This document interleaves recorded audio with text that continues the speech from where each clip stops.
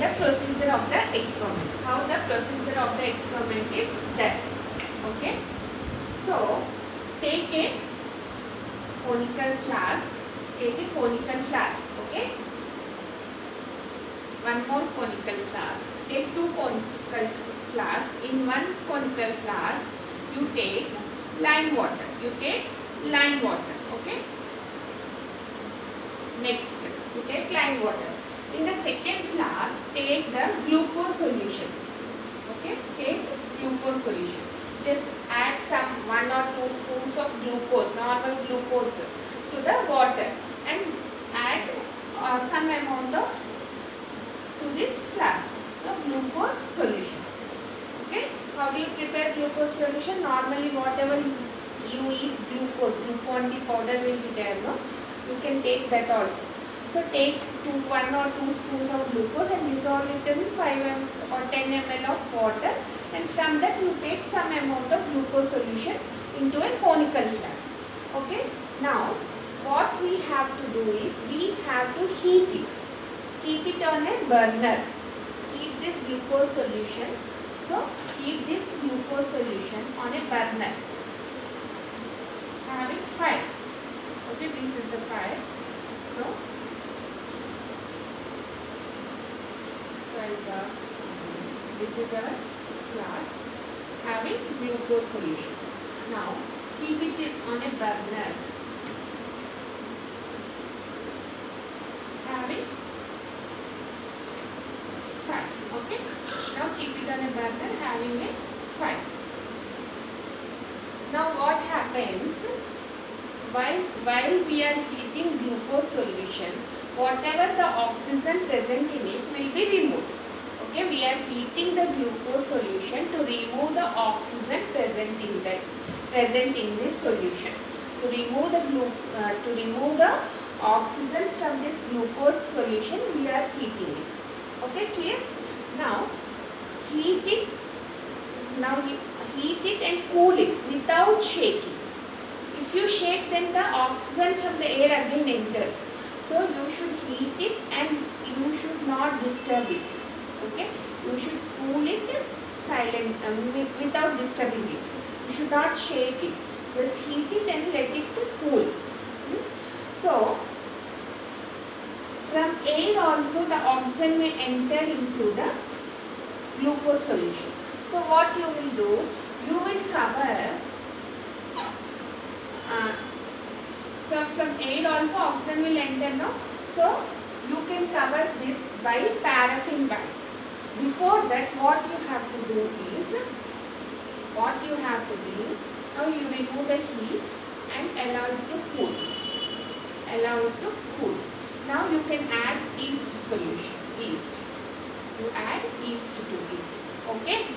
Now you want to check whether oxygen is present or not in this solution. So take out some solution into another test tube, into another test tube, okay, another test tube and add, take out this solution into another test tube and add, and add what, this is our glucose solution.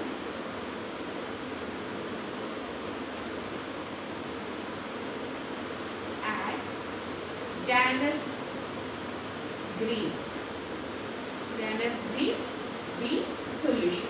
To check, you have just heated the glucose solution. Still the doubt that there is some oxygen present in this solution. To confirm it, what you will do is take some solution into another test tube and add Janus green B solution. So it is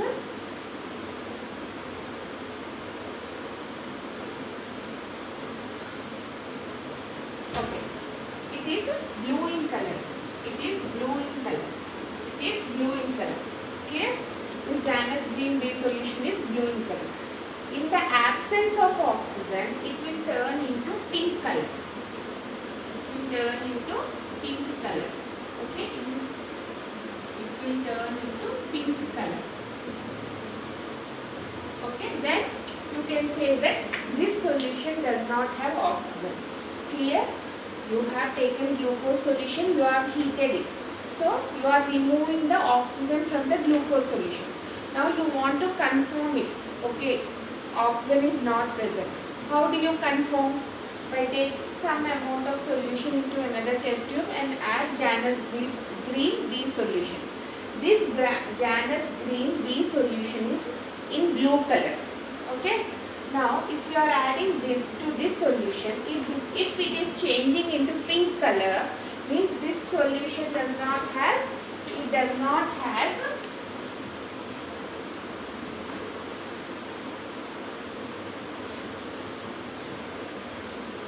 oxygen. It does not have oxygen. It does not have oxygen. Okay. If it is in the blue color means still you have uh, oxygen in that. Clear? So it does not have oxygen in. Clear? Now, so we have to stop. Now you have added yeast also. You have added that yeast.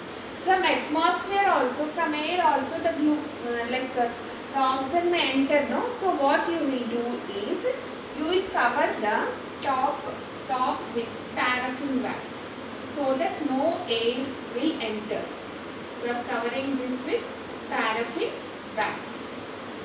Clear? Okay. So that while you are covering this glucose solution with paraffin wax? This is our glucose solution. Okay. Now you are covering it with paraffin wax like this. Why means from air, from air no oxygen can enter into the glucose solution. From air no oxygen will enter into the glucose solution. Clear?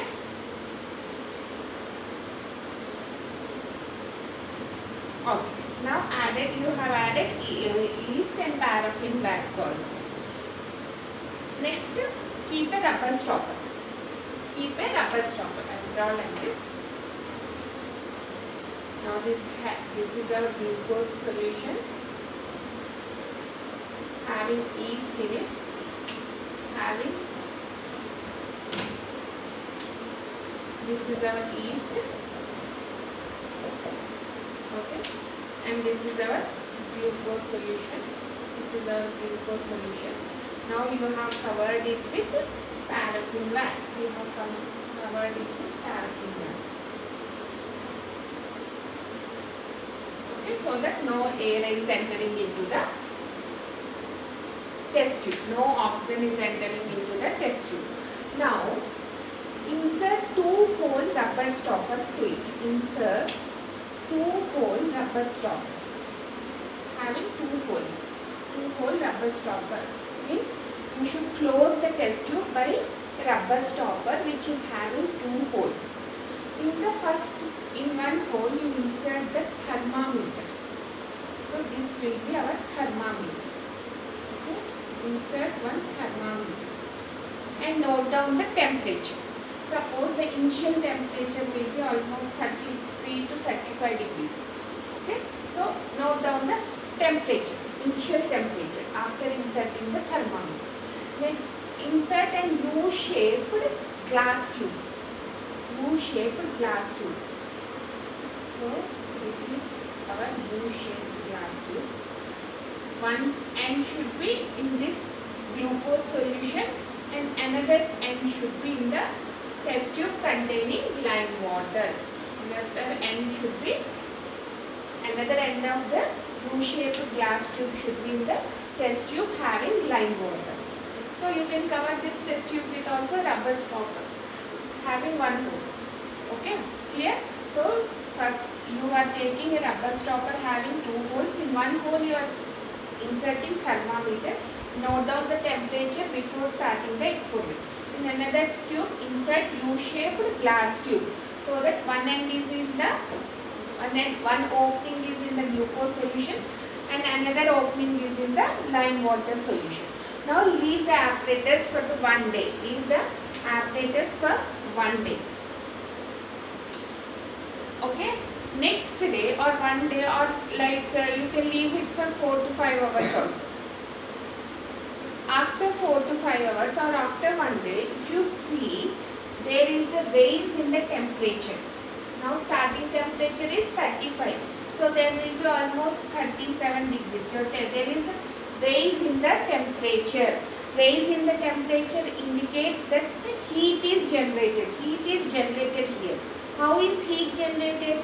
Because the yeast present in the glucose solution. It is utilizing the glucose and doing respiration. And doing respiration. That's why heat is generated. That's why temperature has raised from 33 to 37 degrees. Now, you see that lime water has turned into milky color. Lime water has turned into milky color. Okay, lime water has turned into lime water has turned into milky color.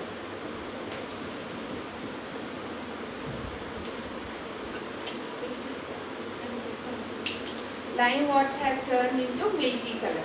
Why lime, how lime water turns into milky color? Because we know that during anaerobic respiration carbon dioxide is released. So this carbon dioxide passes from this U-shaped glass tube into this lime water and this lime water turns into making color. So in, by this we can prove that carbon dioxide is liberated during anaerobic respiration because yeast is there. Yeast, we have removed the oxygen from the glucose solution and we are uh, not allowing oxygen to, from air to enter into it. So what yeast will do? It will carry anaerobic respiration. So anaerobic respiration will be carried by the yeast. So during that process it will release carbon dioxide which we can confirm it by lime water. It changed into milk. And we can see that change in the temperature. That means heat is generated during the anaerobic respiration. Here, this is the experiment. Okay? I will explain once again two test tubes తీసుకోండి. ఒక test ట్యూబ్లో glucose solution తీసుకోండి. ఇంకో test ట్యూబ్లో lime water తీసుకోండి. So first glucose తీసుకున్న సొల్యూషన్ని వేడి చేయండి. ఒక స్టాండ్ మీద పెట్టి కింద ఫ్లేమ్ పెట్టి వేడి చేయండి. What what will happen? అందులో ఉండే ఆక్సిజన్ అంతా ఎవాపరేట్ అయింది నా కూలింగ్ వితౌట్ షేకింగ్ కూల్ చేసేదాన్ని షేక్ చేసి షేక్ చేయకుండా కూల్ చేసేది ఇప్పుడు దాంట్లో ఈస్ట్ యాడ్ చేయండి.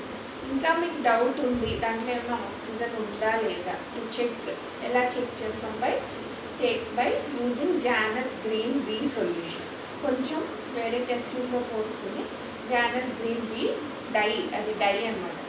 యాడ్ చేయండి. అది ఏ కలర్లో ఉంటుంది? Blue colour so when you are adding blue colour Janus green solution to the glucose solution అది పింక్ కలర్లో చేంజ్ అయ్యింది అంటే ఆ గ్లూకోజ్ సొల్యూషన్లో ఆక్సిజన్ లేదు. ఓకే సో కన్ఫర్మ్ ఆక్సిజన్ లేదు. ఇప్పుడు ఎయిర్ నుంచి కూడా ఆక్సిజన్ ఎంటర్ అవ్వకూడదు కదా? అవ్వకుండా ఎయిర్ నుంచి ఆక్సిజన్ ఎంటర్ అయితే మనకు మళ్ళీ రిజల్ట్ తక్కువ వచ్చేస్తుంది. సో అందుకు మనం ఏం చేస్తాము? పారాఫిన్తో కవర్ చేసేస్తాం paraffin is nothing but wax candles దగ్గర ఉంటుంది చూడండి. అలాంటి వ్యాక్స్తో we are covering it so A air నుంచి కూడా ఆక్సిజన్ మనకి ఈ సొల్యూషన్లోకి రాదు. ఇప్పుడు దీన్ని ఎలా టూ హోల్ రబ్బర్ స్టాపర్ పెడతాం. ఒక హోల్లో వీఆర్ ఇన్సర్టింగ్ థర్మామీటర్ ఈ థర్మామీటర్ గ్లూకోజ్ సొల్యూషన్లో డిప్ అయి ఉండాలి. టెంపరేచర్ నోట్ చేసుకోండి. Initial temperature of the export okay? అలా లీవ్ చేశాను five to six hours one day off ఇష్టం తర్వాత మనం నెక్స్ట్ డే అండ్ ఒక సిక్స్ అవర్స్ తర్వాత మీరు చూస్తే టెంపరేచర్ రైజ్ అయి ఉంటుంది. ఎందుకు రైజ్ అయింది? ఇక్కడ ఆక్సిజన్ లేదు. గ్లూకోజ్ సొల్యూషన్ ఉంది. గ్లూకోజ్ నుంచి ఎనర్జీని ఈస్ట్ తీసుకుంటాడు by breaking it so glucose నుంచి ఎనర్జీ కోసం అంటే glue like yeast is respiring by using glucose so temperature rise అయింది thirty seven during that process ఏం లిబరేట్ అయింది కార్బన్ డైఆక్సైడ్ గ్యాస్ సో ఈ కార్బన్ డైఆక్సైడ్ గ్యాస్ ఈ U shape cylinder tube నుంచి lime వాటర్లోకి వస్తుంది so lime water has changed into Milky in colour that's why you can prove that carbon dioxide and heat is generated during anaerobic respiration. Okay, clear? Next, still we have some more experiments. This is the main experiment. We, we have okay. another experiment is also there to prove the fermentation process. To prove fermentation process.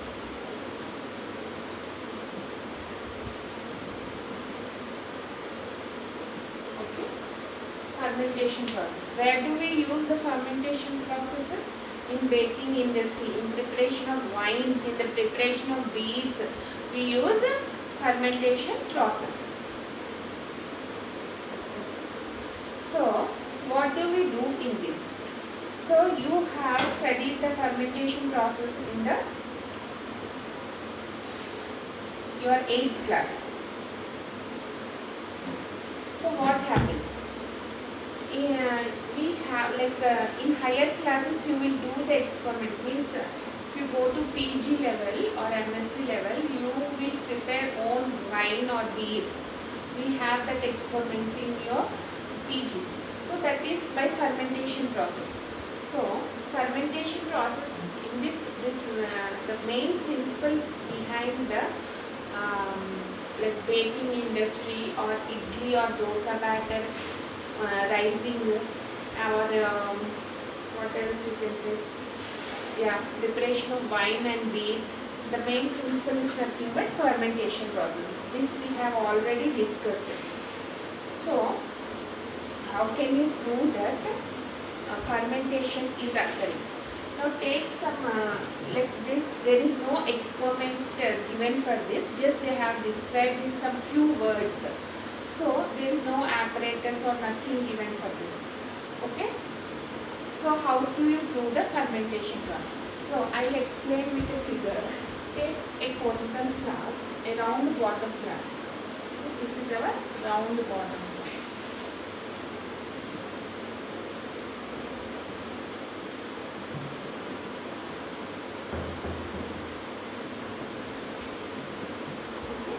take glucose solution in it. Glucose solution in it and add yeast. Yeast and cover it with a rubber stop. Leave it for few days. Uh, or uh, yeah, leave it for few days. Now, after few days, you will see some uh, like some smell coming out, some type of smell. If you see idli or dosa batter, you will uh, grind it today. Next day you will, uh, you, will, you will observe that it has raised in its volume because carbon dioxide has uh, evolved. So fermentation occurs and carbon dioxide has evolved. Now next day you will keep it that in the refrigerator. If you keep, if you are not keeping it, think if you are not keeping in the refrigerator, okay? Think you are not keeping this batter in the refrigerator. Just leave it one more day uh, uh, outside only. What will happen? You will get some type of smell. You know that smell. Huh? Or if you don't know, you can do take some idli batter today. Tomorrow you uh, check what happens if volume will be increased. Don't keep it in the refrigerator. Just leave it outside for one two days. What will happen? You will get some uh, some sour uh, one kind of smell. That smell is due to production of ethanol. Okay, so ethanol is produced. So I told ethanol is nothing but ethyl alcohol which we are drinking. The beer wines or that contains ethanol only. Okay, ethyl alcohol. Now that smell is due to production of ethanol. Now you can separate ethanol from the sugar solution by fractional distillation method. You can separate. Now ethanol is produced in this. Ethanol is produced in the round bottom flask. Now you want to separate. So here now you have in this solution you have ethanol. East yeast has used the glucose solution, sugar solution and it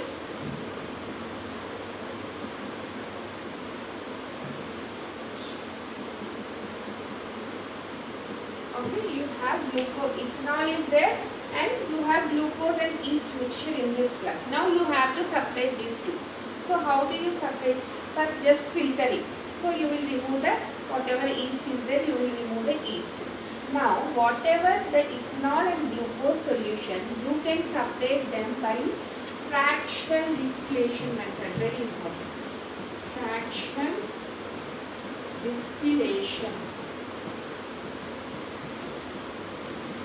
Fractional distillation method. Okay. Hope you have studied this in your chemistry. Okay.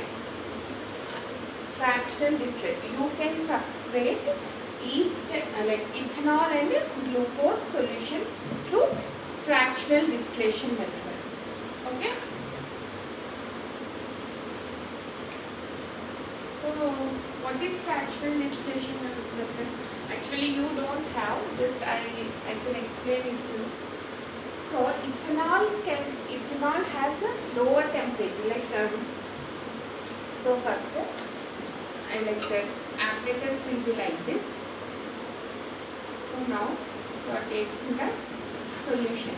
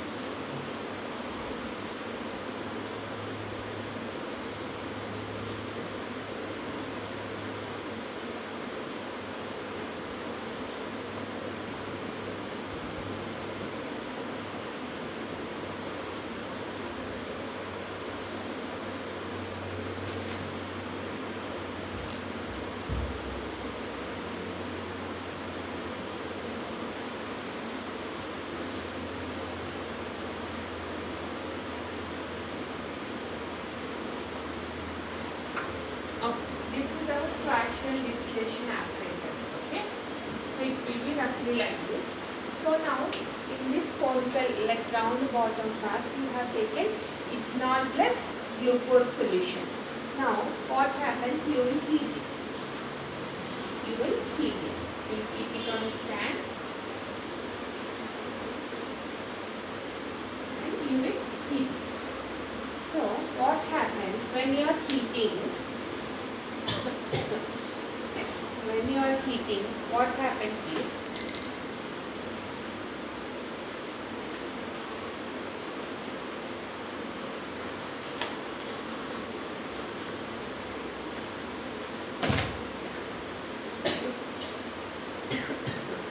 when you are heating it, what happens is ethanol has less boiling point than water.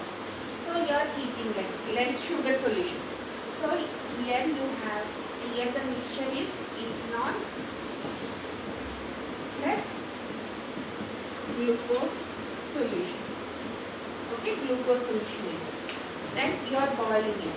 So ethanol has less boiling point compared to glucose solution. So what happens? Hmm? That means ethanol has less boiling point. That is the boiling point of ethanol is 70 degrees. Okay. So when you are heating it, the ethanol will evaporate. It will vaporize. Okay. Ethanol will the vapors of ethanol will come like this. Okay. Here in this cold water will be running. So you should connect it to a tap having cold water. So cold water will be running like this. So what happens when the vapors are coming like this? They will become cool. The vapors will become cool, and this ethanol is again condensed here. Ethanol is condensed here. It is getting liquid. Okay, liquid from here. So that is called as fractional distillation method. So you don't have in your in your chapter this just to understand it. You are taking ethanol and glucose solution. Just heat it. So what is the ethanol? Has low boiling point than the glucose solution. So what happens? Ethanol will evaporate first. So ethanol will evaporate. So ethanol will be forming vapors. Now you should take this fractional distillation tube. We will call it as fractional distillation tube. Here one condenser will be there. So cool water will be running in this condenser. The vapors will be cooled and the liquid ethanol is collected in the another beaker. This is so now in this we don't have ethanol. It has only glucose solution. Here we have collected ethanol. You will get a pure ethanol solution by this method. So ethanol and sugar solutions are separated by fractional distillation method. Okay. So this is one more experiment. Okay. Here.